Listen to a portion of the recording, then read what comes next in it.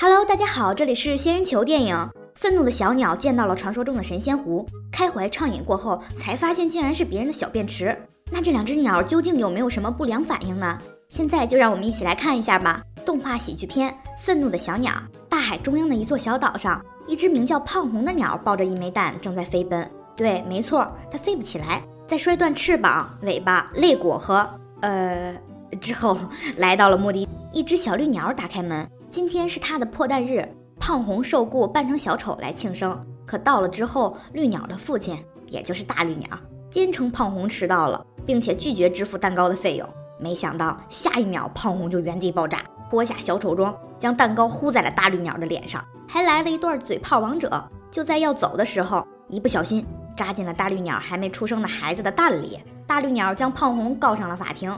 由于他的失误导致小绿鸟非自然出生，胖红试图解释，可法官不听，直接判处了最严重的刑罚，让他立刻去学习愤怒管理课程。胖红带着愤怒的情绪来到了无限包容小组，刚一进门，一个自称白姐姐的鸟热情接待了他。在这里上课的不止胖红一个，有说话超速的飞镖皇，社会我大哥大红。和受到惊吓就能原地爆炸的炸弹黑，一听炸弹黑能原地爆炸，飞镖皇来了兴致，非得让他现场表演一段。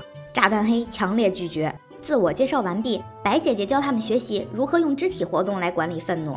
就在白姐姐指点炸弹黑动作时，没想到他竟然没控制住，原地爆炸了。没办法，大家只能提前下课。飞镖皇提议漫漫长夜，不如一起 happy happy。性格孤僻的胖红拒绝了。独自回到家的他，看着墙上的海报，想起儿时最崇拜的无敌神鹰。作为岛上唯一会飞的鸟类，无敌神鹰成为了大家心目中的大英雄。但他已经消失多年，不知去向。岛上的鸟已经开始怀疑无敌神鹰的真实性。第二天一早，岛上的众鸟如往常一样上班，胖红也继续学习愤怒管理课程。就在他马上要把白姐姐逼疯的时候，外面鸟声鼎沸，再一次提前下课，大家凑出去看热闹。飞镖皇因为速度太快。被开了一张罚单，迎面驶来一艘大船，停在了胖红的家门口。船上下来一只没有毛的绿色的猪，它叫吱吱笑，来自一个名叫猪猪岛的地方。他和副手小罗航海周游世界，发现了这个岛屿，所以想和岛上的居民建立友谊。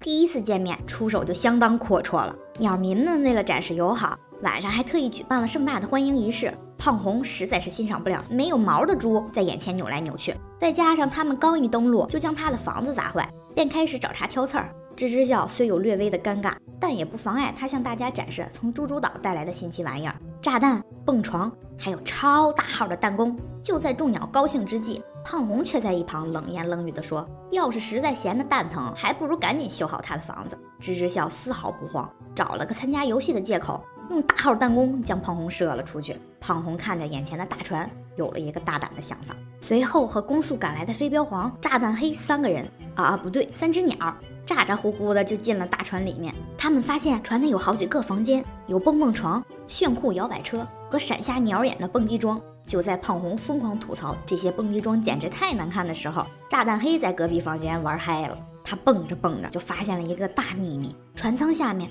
是一群没长毛的绿猪。胖红抓到了把柄，他赶回派对提醒大家，这个猪心眼不正，他藏了一船的猪，还欺骗大家说只有他和助手，并且船上还有各种没见过的道具。可这个时候，鸟民们非但不怀疑吱吱笑的真实目的，反而还不耻胖红偷溜上船的行为。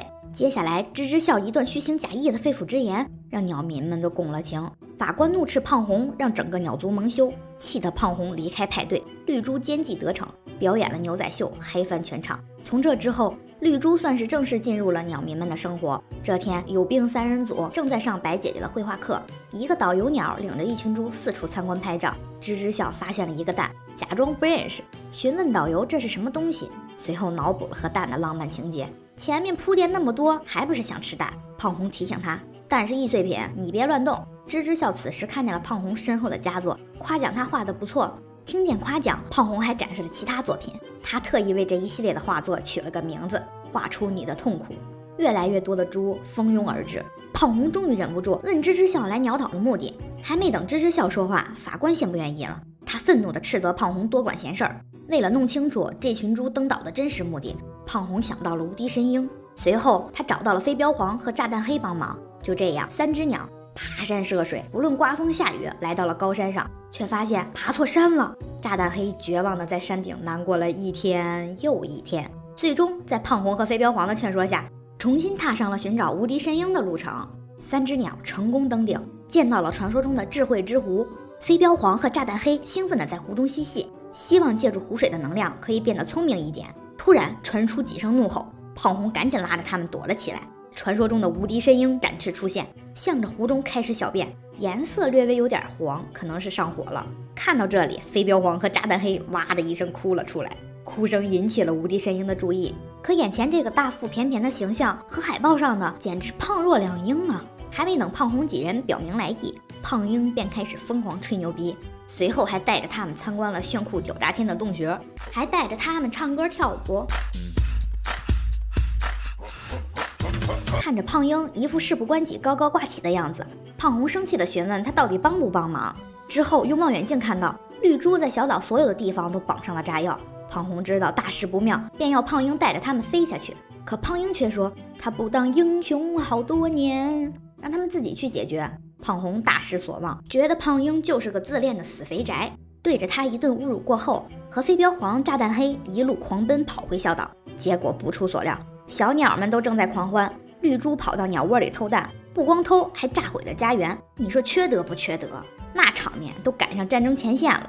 飞镖皇以最快的速度赶到派对上通知大家，胖红和炸弹黑则跑去阻止绿珠将蛋装上船。但很可惜，仅凭两鸟之力根本无力阻挡。第二天，鸟民看着一片狼藉的小岛，伤心不已。法官见状也开始后悔当初的所作所为，一脸愁容地询问胖红该怎么办。众鸟没了主意，此时的他们需要一个真正的领袖。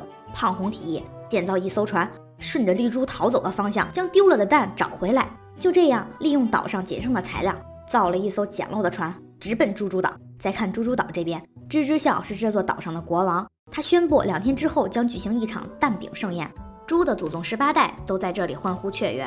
鸟民们顺利登岛，可眼下还有一个问题：岛外的一圈围墙，他们怎么过去？身为鸟还能怎么过去？当然是飞过去了。将大弹弓架在高地，白姐姐作为手弹向着城堡进攻。接下来，一个一个的鸟被射进猪猪堡。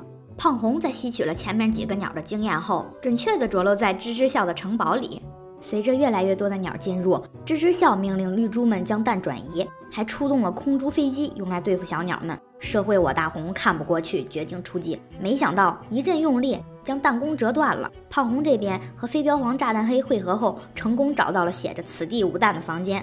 外面有好几个绿珠把守，飞镖皇以超快的速度解决了几个猪猪，他们顺利的进入房间。没想到狡猾的吱吱笑决定将吃蛋宴会提前举行，眼看蛋要被拉走，胖红跳了上去，机智的阻止了蛋被下锅。就在这时，良心发现的无敌神鹰出现，胖红让神鹰赶紧带着蛋先走，结果被吱吱笑抓住了爪。两方纠缠不下之时，一颗鸟蛋被挤了出来。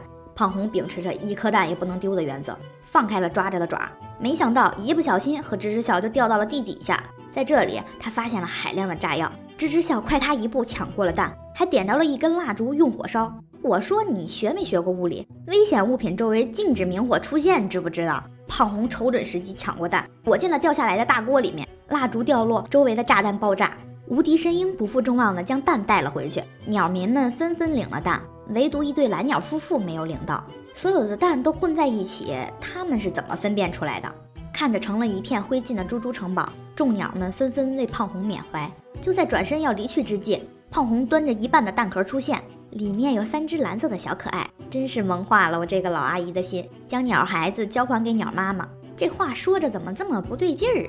最后迎来了 happy ending。等等，还没结束，小鸟们回到了岛上重建家园，他们将胖红的家从海边移到了村子里。一群小萌鸟唱起了歌颂胖红的歌，听得他是热泪盈眶。最后的最后，胖红邀请飞镖皇和炸弹黑到新家做客，这才是完美的 happy ending。愤怒的小鸟到这里就结束了，觉得不错的观众可以关注一下仙人球哦。我们下期再见，拜拜。